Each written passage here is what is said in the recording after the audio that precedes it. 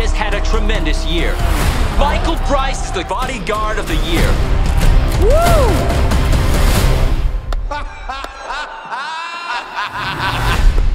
Is he a relative of yours? God, no. Darius Kincaid, the hitman wanted for like a zillion murders around the world. And how often do you have this dream? Just once. Well, that's not A too- night. Right. I'm thinking you need to forget bodyguarding. I'm officially on sabbatical, and to be honest, I don't know why I didn't do this sooner. As if the world's been waiting for me to make this change. For the first time, I'm starting to imagine a life without bodyguarding. This really feels like a new beginning.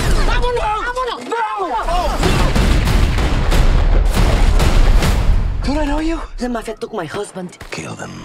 We have to go get him. No, no, no, no. I, I, I'm not getting involved in this. I'm under strict psychological orders. I promised my therapist no bodyguard. That means no guns, no killing, and no blood. What is he doing here? Are you using pepper spray? I'm on sabbatical. How many times enough.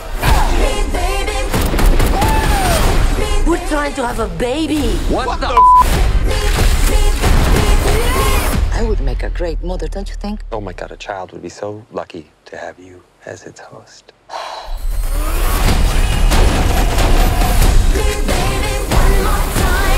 You're gonna tell us everything you know. I'm not telling you.